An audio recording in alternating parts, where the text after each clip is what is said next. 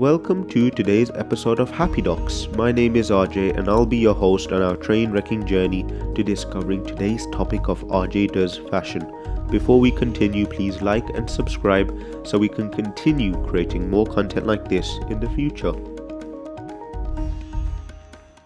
I'd also like to give a massive shout out to Birmingham Fashion Council, our city's own annual runway show, who helped provide us an opportunity to entertaining, inspiring, and educating me in fashion. So, troopers, let's get into the video. So, uh, welcome guys uh, to today's episode of uh, Fashion. Uh, today, we're here to kind of spectate a new little event that's occurring in Birmingham, which is the Birmingham Fashion Weekend. Um, we're here to kind of understand what's so special about Birmingham's fashion scene, um, who's involved, and uh, can we actually encourage more people to join the scene, you know. Um, so, yeah, I hope you guys kind of join me on this journey, and, uh, and I hope you guys enjoy the process of uh, talking to these incredible people. Have you ever thought about being a model? Well, I have, and today was my first chance at walking a runway whilst nobody was watching. Even though nobody was looking, I found that being confident about my body and what I wear was a big hurdle to overcome, especially when you're presenting to a large crowd. I wanted to start off by asking today's attendees what they were wearing and what fashion meant to them. So uh, we have Toshiq here, uh, our director's uh, little cameo. Um, so I just want to ask you what you're wearing today. Anything, uh, anything special? Mm, not really. Thrifted this shirt maybe like a few months ago up in Manchester. says Dicks on it. It's cool. And uh, yeah, got um, some G Star jeans on. So um, yeah. Oh, lovely. Um, so what does uh, fashion mean to you? Um, well, I think that it's a personal expression of art, which is cool because you can actually wear it, you can show it, and it's they say like your body's a canvas, go out and you can kind of show that. So I think it's a cool way to, I don't know, show how creative you are as a person through that. Uh, so would you like to just introduce yourself? Hi, I'm Robin. I'm a fashion illustrator from Birmingham. Uh, awesome. So uh, I just want to ask, uh, what, are you wearing anything special today? Uh, no. what did I say? Hi, my name is Zoe Bennett, also known as the Motivational Queen, and apparently I inspire confidence and create transformation in other people. Now, I am very lucky to be the Vice President of the Birmingham Fashion Council, where we bring opportunities and create a platform for those creatives to explore themselves and to share with the rest of those around them what they have to offer. No, perfect. And I just want to ask you, um, are you wearing anything special today? Yes, I'm wearing me. I am you wearing uniquely me, and I'm always encouraging people make sure you are uniquely yourself, you show up as yourself, and especially in fashion, you own it. Lovely. I want to ask you, what does fashion mean to you? Fashion, you represent who you are, what you are, and it gives a sense of intent. Do you know I mean? You wear your clothes with pride, with a sense of this is me. Do you know what I mean? And you, you want to step out and you feel good when you step out as well. So, yeah. Okay, okay, so basically, I think fashion is the interpretation of how you see life, how you express yourself, and for me, that's what fashion means basically. Mm-hmm. How you. It just means being free, being free to express yourself, being free to show to other people that you are eagerly awaiting just for people to say, Do you know what? I stand in my purpose. I know who I am, and I'm going to show the world who I am through the art of expression, through the creativity that we possess. I stand in my purpose. My purpose to entertain, inspire, and educate you incredible people. So, just a reminder for you all to like and subscribe, it certainly goes a long way for us. And stay till the end of the documentary.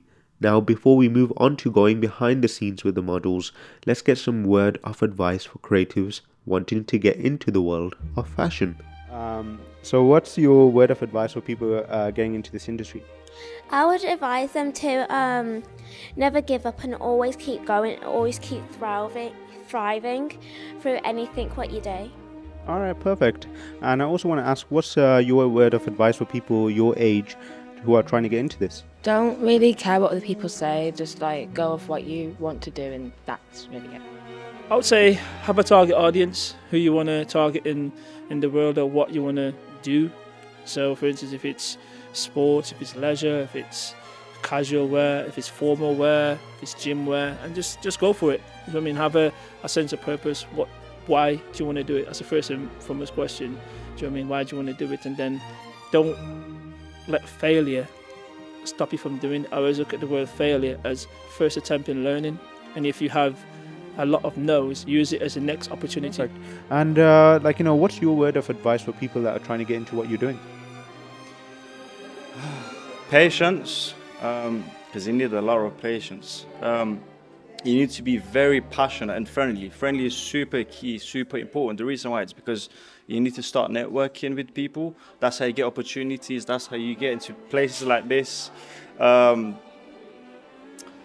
just sort of be yourself, you know, and you also have to be a bit Experiment, trial and error is key. Um, the more you try, the more you find out. And there's nothing wrong with getting it wrong.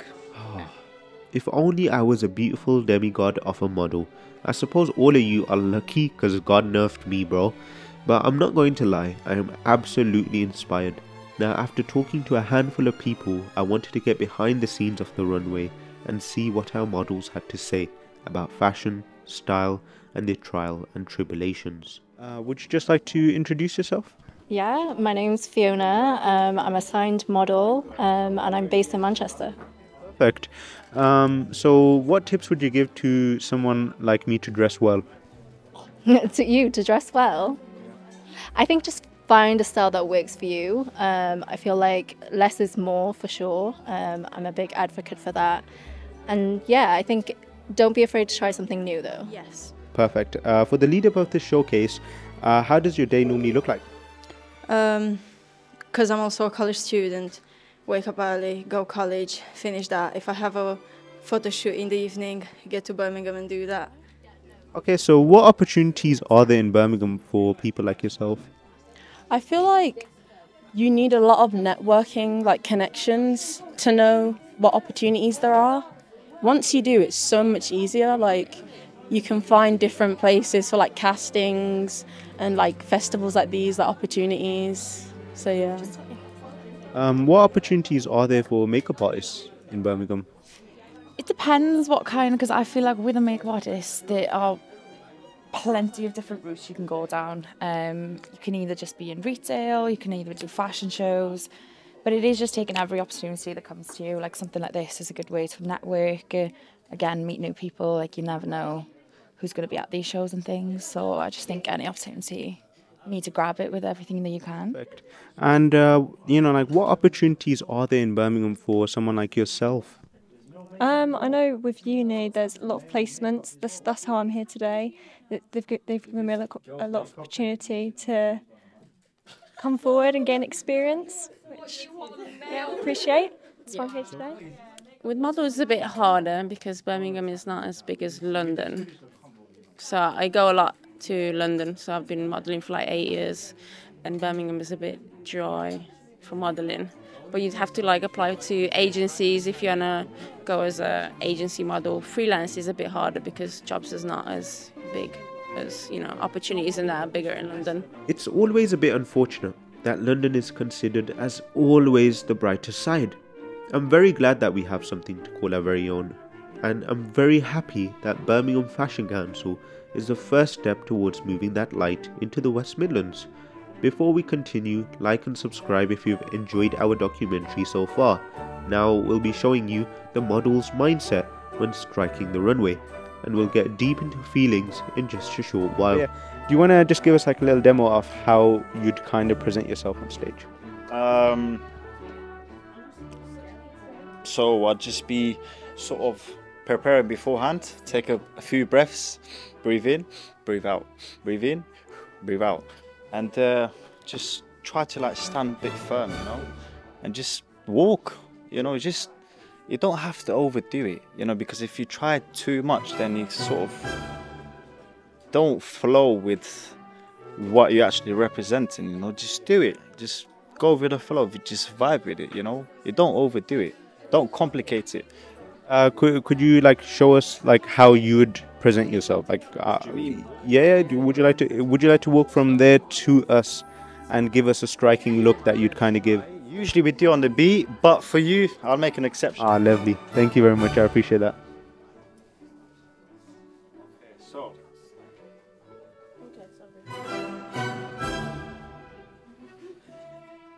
Just a small little walk, but that's without the beat. Hey yo, I can't believe that you made modeling look that easy. And uh, how hard is it to be successful in what you're doing? I think it is a very competitive industry, but I think if you enjoy it and you know you don't let the downsides get to you, it's definitely rewarding. So yeah, for sure. Depends how much heart you put into it. If you dedicate yourself into the profession, you will get there in easy steps. But yes, there, you might fall down, but you need to have the strength to get up and keep going. Um, for myself, I can say that I haven't put myself out there that much, so I, I can't say I'm very successful, but I'm learning to put myself out there more. So I'm hoping after that I can become more successful. Depends what you define as successful. I could define myself as successful. I might not be as big as uh, Kate Moss or Celine, but in my world, uh, in my life, I'm, I'm quite successful. Depends where, where I come from. So I feel like I've come a long way. It depends on the person because you need like sorry, you need the a good mindset. You need to just persevere because you're not always gonna say like you're not always gonna get the role. You're not always gonna get into what you want. So you just need to just carry on and do what you love. So it's not gonna be easy. It's never easy. Um, how hard is it to be successful in what you do, makeup artist? It's difficult, like she said, like you're always gonna get your nose, you're gonna get turned away, and then some things like that, some people will tend to just give up. But, but you've just gotta just maybe shed a tear or two, and then you just gotta grow and then carry on doing what you're doing. Because if you don't carry on, then the success won't come to you. Wow, utterly inspiring. And I totally agree. Keep on doing what you're doing because if you don't, then success won't come to you. Make the first move. Yeah, and what's two things that you love about what you do um, that keeps you going? Um, well, with modeling, I feel like it's just fun anyway. Like, it's a new experience to me. And I feel like it, it genuinely does keep me going through like confidence and things like that. And I get to meet new people and go new places. So, yeah, that definitely just makes me want to do it even more.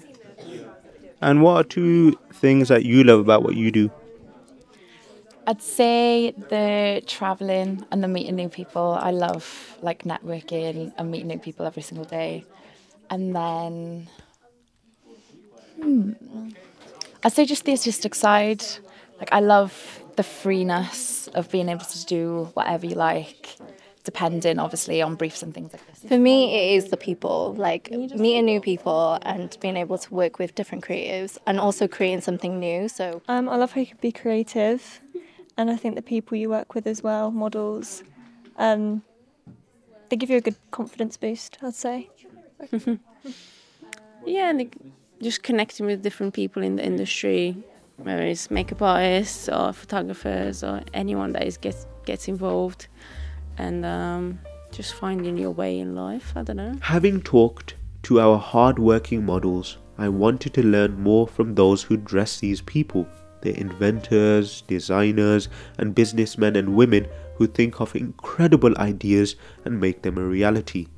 A lot of these designers were busy though, but we did get the chance to talk to a few of them. Yeah, so um, I'm Wendy. I am the designer of She Flipped It, a sustainable fashion brand where we take old clothes from vintage shops, charity shops, transform them and make them into something new and creative that's quite modern. Um, so how hard is it to be successful in what you do? Ooh, I think success, it depends how you're measuring it. Because success for someone maybe can be, I've not reached 100 customers, I've not reached a million pounds, I've not reached, you know, a thousand followers on Instagram. So I think success is personal and it changes every single time. So for me, being quite small, I'd say my own success is having my family and friends here just being proud of me. That's how I'd kind of put my success. Yeah, the very first thing, of course, is passion. The love for what you do, basically. That's what keeps you going as a creative. And then when you make sales every now and then, it just it just makes it more encouraging and you know you just want to keep doing it again yeah and then the second thing will be putting a smile on people's faces And uh, I want to ask you, um, do you think uh, the Birmingham fashion scene is supportive? Not enough that it should do. Do you know what I mean? I think there's a lack in that drive. I think coming to Birmingham, it's harder because I think Birmingham follows the trend of London. So what's say happening in London, then it gets filled, filtered up up the, up the country. I think Birmingham has a lot of young, enthusiastic uh, entrepreneurs in fashion, but it's not very supported when it, when it should be because there's a lot of unique people here, especially here today. And uh, what are two things that you love about what you do uh, that kind of keeps you going? I think it's the reward at the end of it. So during the process, it's a headache. You're stressing, you want to cry, you want to give up. But seeing that end part is the most rewarding piece. So that's one thing. And as well, just kind of getting the feedback from everyone, so friends and family, and from strangers as well. Just kind of getting that support is something that keeps me going. I totally agree. The hard work is always within the process of making something great. The reward is seeing that reflection of hard work through its impact on others my day at the Birmingham Fashion Council was absolutely lovely. I loved the people, the show, the clothing, and the creative atmosphere there was in that large building. I certainly look forward to going again, and I certainly encourage many more models, photographers, presenters, and makeup artists, designers, and many more to get involved. This is a community effort. Let's help each other be greater than great. If you've enjoyed this documentary, I hope you like and subscribe to our channel. We don't just post Happy Docs related content, we make short films, community discussions, tutorials, and so much more. Support our growth by following our journey